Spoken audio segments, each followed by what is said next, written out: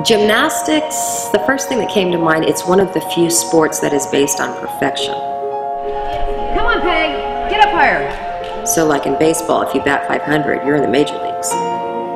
Well, if you bat 500 as a gymnast, you're not getting out of level 7.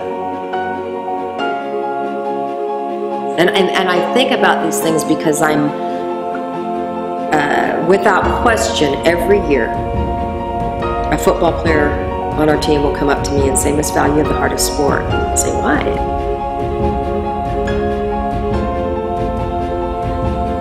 You know, if I if I lose my concentration, I get pummeled.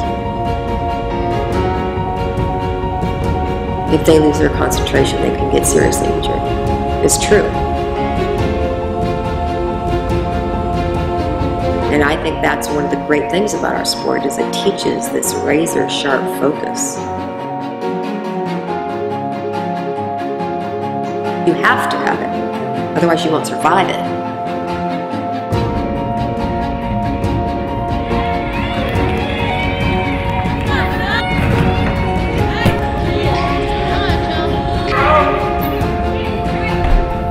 Last week, a basketball player came up to me and said, Miss Val, you have the hardest sport. And I said, why?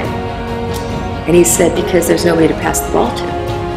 When they're up in the beam, when they start wobbling and getting shaky, they can't just tag team and have someone else finish the routine with them. They have to figure out how to get composed and finish that routine.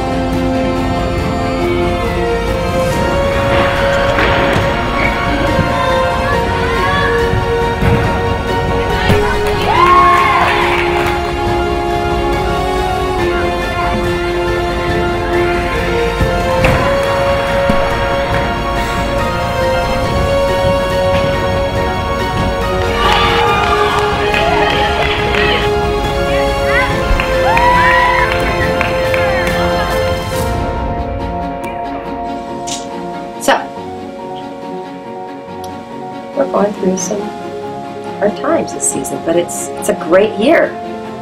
It's been a great year.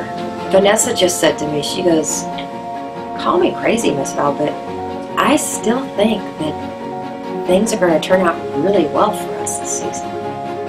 I said, "I do too." So it was it was a good day.